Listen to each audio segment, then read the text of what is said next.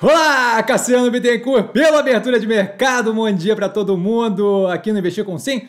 São 8h33 da manhã do dia 22 de 6 de 2023 e eu começo com um disclaimer, como sempre, que eu falo aqui nada mais é do que a minha opinião sobre investimento, a forma como eu invisto, não é de qualquer forma, moda em geral, indicação de compra ou venda de qualquer ativo do mercado financeiro. Isso dito, fechamento de ontem, mais um dia generalizadamente positivo para o portfólio muito para andar ainda nos ativos do portfólio, sempre levando em consideração o dinamismo e a diferença entre eles, tá? entre os ativos, volume mais positivo.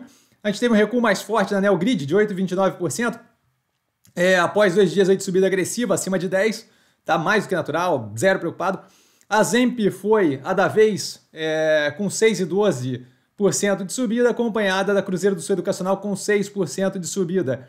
Acontecimentos, a gente tem o Senado aprovando o texto base do arcabouço fiscal com alteração do Omar Aziz, tá? que retira ali dois, duas questões ali dos fundos é, da restrição orçamentária, tá? o que daria aí, se não me engano, 30, 40 bilhões de reais, alguma coisa assim. A matemática nunca é a mais ajustada, sempre tem argumento de lá e argumento daqui. De qualquer forma, aumentaria ali o gasto do governo, tá? Como dito, não positivo, mas não problemático. Agora volta para a Câmara, para a Câmara, para a Câmara, volta para a Câmara a gente está observando. E o Cláudio Cajado, relator é, da primeira etapa na Câmara, que vai ser o relator novamente, disse textualmente a Vera Magalhães que vai voltar tudo, que vai atear fogo no que foi alterado pelo Omar Aziz, o que obviamente me causa um sorriso, porque não tem conversinha. Tá? Estamos aqui na torcida. Sendo o relator o, Caldo, o, o Cláudio Cajado, ele dá um novo sentido aquele dito popular, a, a moda política brasileira de dois coelhos com uma cajadada só, tá? Cassino deve vender o restante da participação no açaí, tá? A operação já funciona como corporation. Comentei, fiz um comentário ali no, no Reels e no Shorts aqui do canal, justamente para explicar, porque a galera estava ficando com dúvida se tinha efeito. O efeito é completamente irrelevante para a tese e para o Cassino já vai tarde.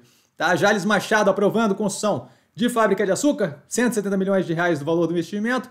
É, só para informação, é, é relevante para a operação, quem tiver vinculado, conhecimento próximo da operação, está aí. YouTube, Itaú, comprando participação na subsidiária da Eneva, tá investindo ali mais um bi em energia elétrica, 15% da participação na subsidiária da Eneva. Isso eu digo como mais um bi porque a gente já teve um movimento recentemente feito na Engie no mesmo valor com a parte da Engie de energias renováveis, tá? Então, assim, parece um direcionamento pensado estratégico aí do Itaú.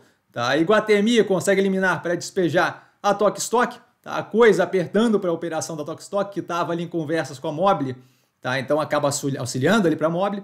Tá? Movimento como um todo positivo para o portfólio, liberando espaço num shopping ali da Iguatemi e apertando a Tok Stock, deixando é, é, comparativamente mais positivo para a Mobile se vier a ter qualquer tipo de negócio, certo? Quanto mais a corda tiver no pescoço, quanto mais estiver apertado, melhor é para a gente, caso tenha qualquer coisa com a Mobile. Programa de desconto de veículo pelo governo já em 80% esgotado. A gente está, estou observando de perto aí para ver o quanto eles são dispostos a ceder. E ao invés de tocar dinheiro em alimentar o povo, tocar dinheiro em dar desconto em carro é, e estender esse programa, vamos ver o que acontece. A Vamos pretendendo follow-on para expansão com redução de dívida, tá? 1,5 bi deve ser o valor é, conseguido. A gente deve ter análise da Vamos hoje, justamente para ter uma noção aí de como é que está a evolução da operação. Caso alguém é, é um movimento mais forte, então caso alguém tenha algum interesse na operação, a gente vai ter uma análise hoje ainda, tá? A TC, antiga Traders Club, é Empíricos, com a Polícia Federal batendo na porta. Aqui em casa ninguém bateu ainda.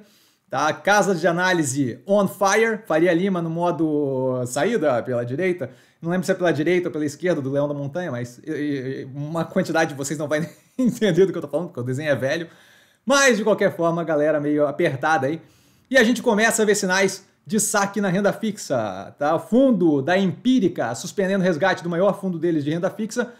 Isso por aumento forte nos saques, na demanda pelos ativos, ali, pela, pelo saque para retirada do fundo.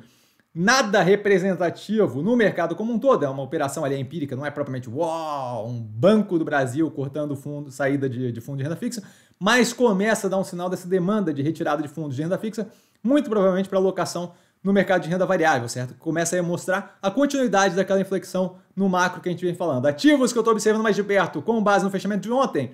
Soja 3, Pets, Via e Ambipar. E dúvida? Dúvida eu dou sempre no Instagram, arroba investir com sim, só ir lá falar comigo, eu não trago a pessoa amada, mas estou sempre lá tirando dúvida e vale lembrar que quem aprende a pensar bolsa opera como um mero detalhe. Um beijo para todo mundo e mais tarde nos vemos com a Vamos é, analisada aqui no canal. Valeu, galera, beijão!